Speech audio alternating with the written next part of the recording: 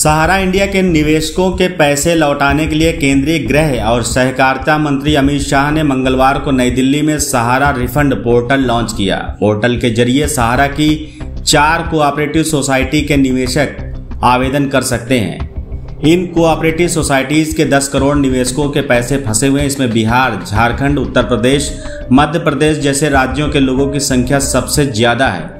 पैसे वापस नहीं मिलने पर निवेशकों ने इस मामले में सरकार से हस्तक्षेप करने की अपील की थी। Sahara credit cooperative society limited Lucknow, Saharayan, universal multipurpose society limited, Bhopal, Hamara India credit cooperative society limited Kolkata, stars multipurpose cooperative society limited Hyderabad. इन चार लोगों को वरीयता है।